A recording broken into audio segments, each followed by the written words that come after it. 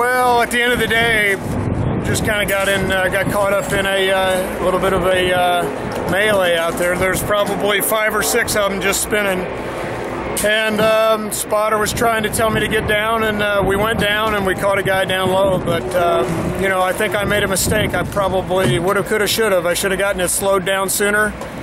Blah blah blah. And you really can't drive through these things. Sometimes maybe you can uh, get yourself stopped, or you know, who knows? You'll play it in your head a lot, but until you really go back and see it on film.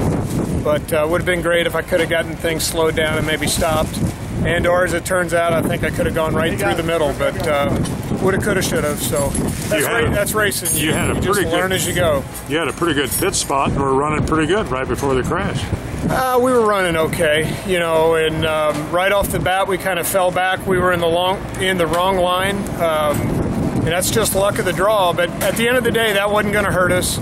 So you quickly realized you had to have a couple good pit stops, and maybe you would be there at the end. You would al- allow some of this crashing to help you. Um, the plan was not to be in one of those crashes. So anyway, long story short, that's that's racing. The most important question: How are you? Oh, I'm fine. I'm fine. I'm fine.